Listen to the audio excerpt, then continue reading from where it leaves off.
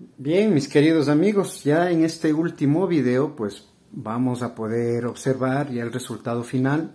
Ustedes pueden darse cuenta de que ya en el taco he trabajado esta otra cromática y pues miren, eh, yo les hablaba de, la importancia, ¿no es cierto?, de, de manejar un registro y este es el resultado. Por ejemplo, miren, aquí les comparto, les comparto, les comparto. Voy a coger por acá también.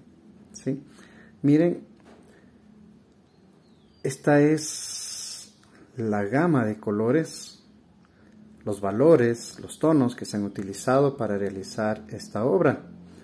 Entonces, podemos ir observando, ¿no es cierto?, que nos va eh, favoreciendo siempre hacer un registro del color porque ello va a permitir que nuestra obra vaya teniendo sentido, ¿sí? que la cromática no se nos dispare, que el color sea armónico dentro de la obra, que su atmósfera se mantenga y pues ir obteniendo el resultado que uno va deseando. A veces la sorpresa que nos causa el tratamiento del color nos va como a sorprender y nos va a dar la sensación de que no nos va a llevar a un buen camino. Yo les animo a que no nos dejemos llevar por esa mala información que tendremos al momento, sino más bien por ir en el proceso avanzando y tomando decisiones, tomando decisiones y lograr construir ya la obra final.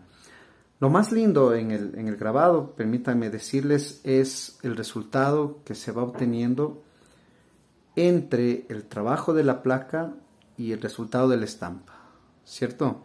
Es decir, ese proceso de creación donde uno va razonando, va determinando si la obra deberá eh, llevarse por una cromática cálida, por una cromática fría, si se va a trabajar con contrastes, si se va a trabajar en una armonía de colores, si el fondo será el cálido y lo, y lo primario en la obra será, no sé, una cromática verdosa, azulada, violácea.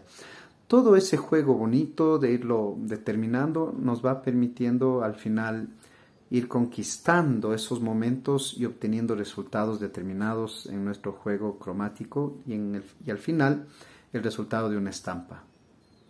El grabado es una de las áreas de las artes que nos permite obtener este juego constante.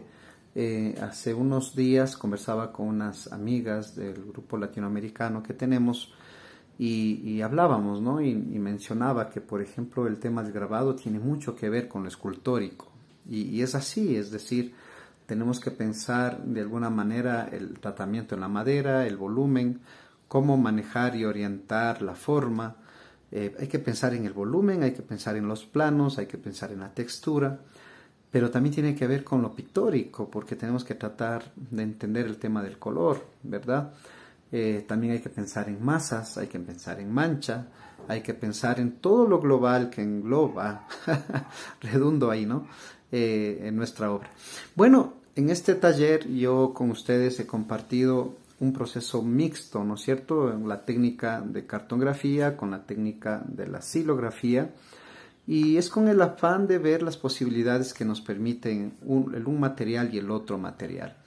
A mí me gustaría, a mí me gustaría saber cuál es su comentario final. No me dejen sin comentar, compártanme sus comentarios en este video, díganme qué les ha parecido, les pareció interesante, es, es, nuevo para ustedes, ya lo habían trabajado, compártanme sus obras, compártanme el proceso de cómo trabajan una obra ustedes también.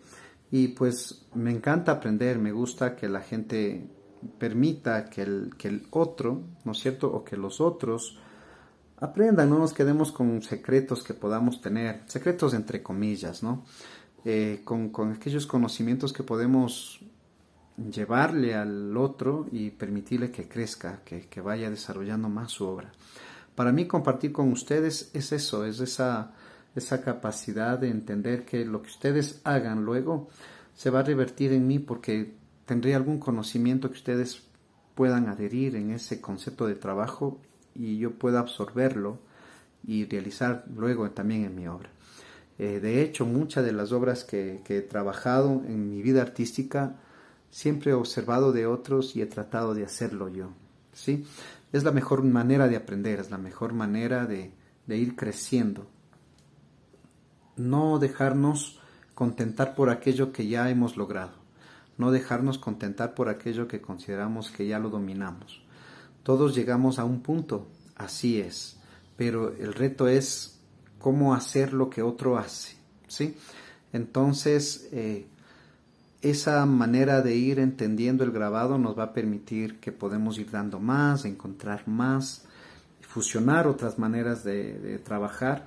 Y pues bueno, el, tema del grabado menos tóxico en la actualidad es aquello que nos permite ir haciendo una obra gráfica que sea más saludable en, temas de, conservar la seguridad del artista, ¿no?